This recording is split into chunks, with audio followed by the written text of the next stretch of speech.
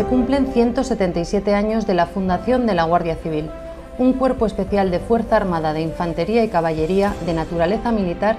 que se creó para garantizar la seguridad de los ciudadanos con total respeto a la Constitución y al ordenamiento jurídico,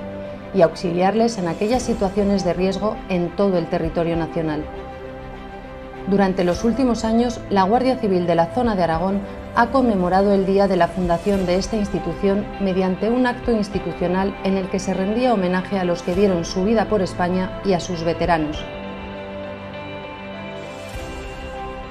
La actual crisis sanitaria hace imposible llevar a cabo este homenaje de manera tradicional. Por ello, se ha realizado un acto simbólico para su conmemoración al que ha asistido un número reducido de agentes en representación de la Guardia Civil de Zaragoza, encabezada por el excelentísimo señor general jefe de la octava zona de Aragón, Francisco Javier Almiñana Boluda, durante el que se han guardado las oportunas medidas de seguridad.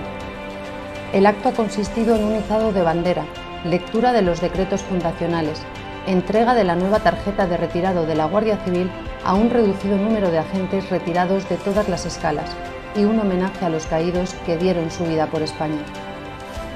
Un homenaje conmemorativo con el que se pretende mantener vivo el recuerdo de todos nuestros predecesores, a los que les debemos el reconocimiento de su trabajo y la continuación de la labor de esta institución que ellos iniciaron, sirviendo y protegiendo a la sociedad.